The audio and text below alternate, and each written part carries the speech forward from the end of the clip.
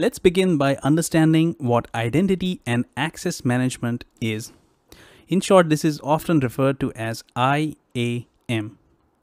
This is used almost extensively everywhere. No matter where you go in the organization, whether you work in IT, finance, HR, you need access to systems, right? You want to have the business running. So, in order to have the business running, you need to move data in and out of the systems. And for that, you need to have proper access and you need to have proper identity set up across your different systems. So, take for example yourself, right? If you're working at a company or if you're studying in a school or in university, you would have an identity. Now, what identity really is?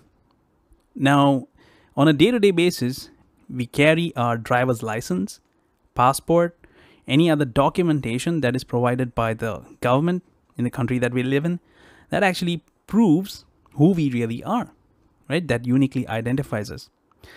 Now, here's a question how we can define or identify us when we're actually using the systems? Now, that's a great question. We cannot really use passports and things like that. So, normally, what we use is can you guess? That is correct username and passwords.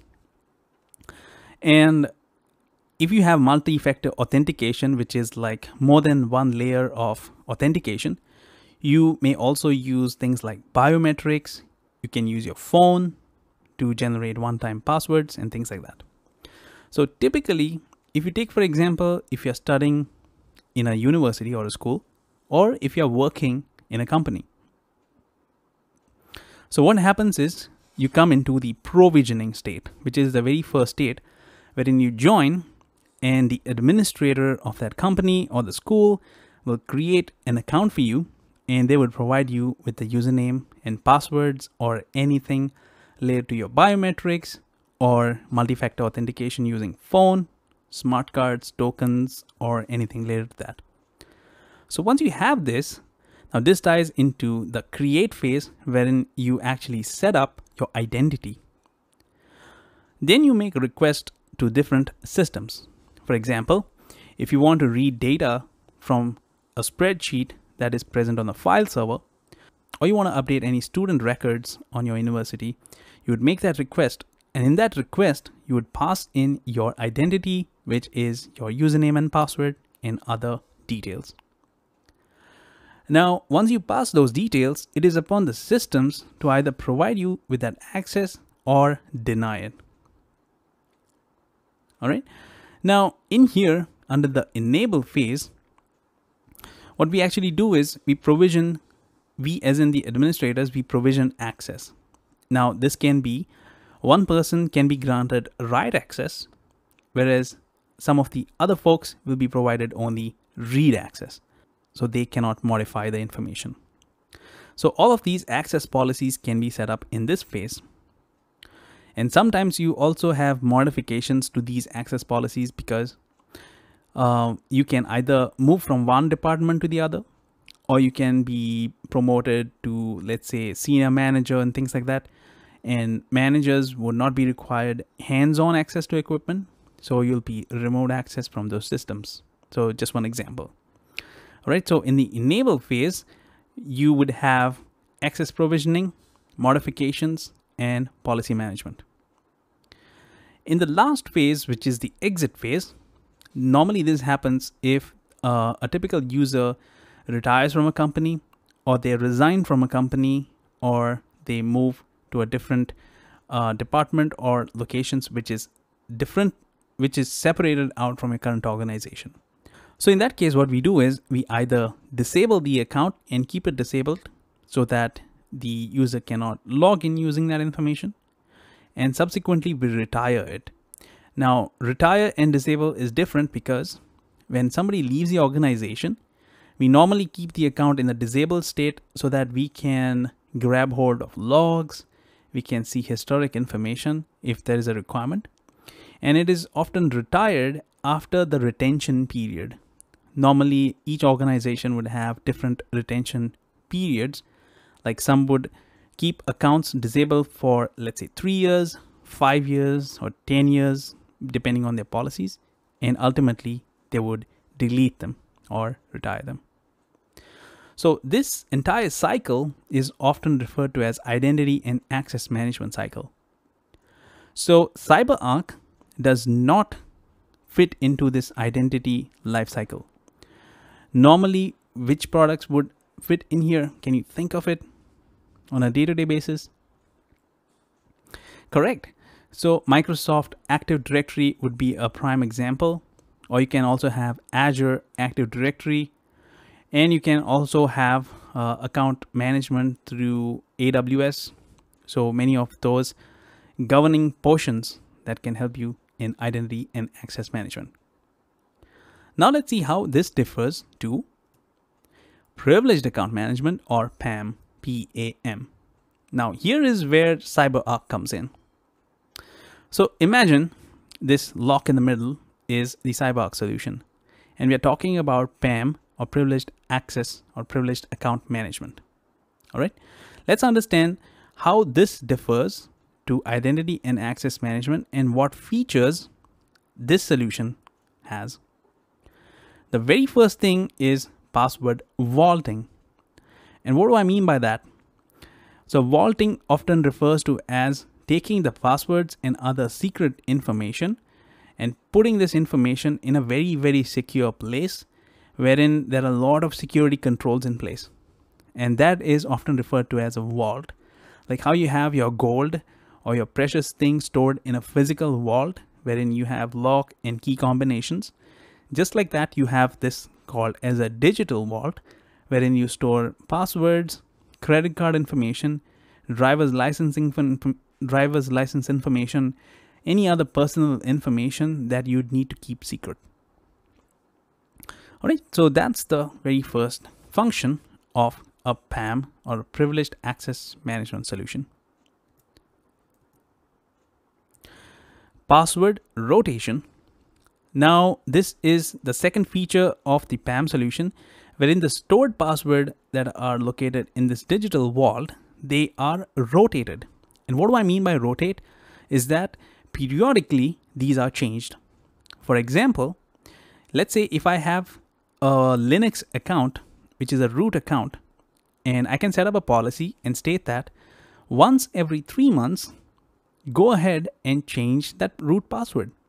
So what this PAM solution, and in this case, CyberArk, what it would do is it would go into the individual system and it would rotate the password of the root account automatically. So you don't need any manual intervention or anybody trying to do any manual operations. It is very transparent and it is very seamless. The new password is then stored back in this digital vault and updated. All right. The third feature is session monitoring. Now, what session monitoring is, is that if I'm an admin and I want to access the system, say for example, when I go through CyberArk or any other PAM solution, all of my access, all of the things that I actually do on the system after grabbing hold of that password is logged, it is monitored, and somebody can actually terminate my session if they find out I'm doing suspicious activity or trying to do some unauthorized things that I'm not allowed to. So that's what session monitoring and management is. And this process generates text and video logs. Now, video logs would be like a video recording of what I'm actually doing on a system, like what commands I'm typing. And we're to have a look at that in the demo when we actually displaying that. This logs related to text and videos, they are again stored in this digital vault. So they are highly secure and nobody is allowed to tamper with them. Like being an admin, if I wanted to erase my tracks, I cannot go in here and remove or delete this text or log files. I can define a custom workflow. Now what workflow means is that, say for example, I want to access an AWS root account and I want to set up a policy wherein when an admin requests to access that root account, it needs to go through an approval process wherein the user's manager needs to approve the access every time I um, request for that AWS root account. So that way, um, I can set up policies wherein even if I have the password stored here, nobody would be able to just you know take those passwords and access systems. I would need to have a um, I would need to have like a process put in place so that sensitive accounts are protected with additional layer of security. Now, auto discovery. Imagine if you have 10,000 systems on your network. Yes, you heard me right. 10,000 systems. That includes Windows, Linux, Cisco devices, Oracle databases, MySQL devices, everything. To get those passwords and store them individually in the vault, can you imagine how long and tedious that process would be? So each of the PAM solutions, or especially in CyberArk, you have a process called auto discovery, wherein you can create scheduled jobs and you can create one-time jobs, wherein CyberArk would reach out to each of those systems and grab hold of all the passwords that it needs to manage it would fetch all those passwords from the systems and it would store in its digital vault automatically. So you don't need to manually key in 10,000 passwords for those systems. Now you can also have this schedule so that in let's say two months you add another 10 systems, those 10 systems are automatically imported or password for those systems are automatically imported. Um, my apologies. So that way you have a very scalable process and you don't need to manually do anything. Auto account onboarding is referring to when when you have this discovery in place through the auto discovery process, those accounts are automatically imported in this digital vault and assigned specific policies and stored in something called as specific safes, right? So you can actually do that automatically and don't have any manual intervention. You can also create policies for multi-factor authentication. Since you're storing privileged accounts in this digital vault, you would need to have all of your administrators and any other users for CyberArk to make sure that they use multi-factor authentication, whether they want to use things like RSA token, uh, they can use Duo uh, TOTP based codes or any other uh, second layer of authentication based on your policies that you define. And lastly, privileged elevation management. This is tied to things like sudo, right? So even if somebody has sudo privileges, they cannot do specific operations like removing files, changing of IP addresses. So you can uh, restrict uh, specific operations or commands that users cannot use when they are actually leveraging privileged accounts.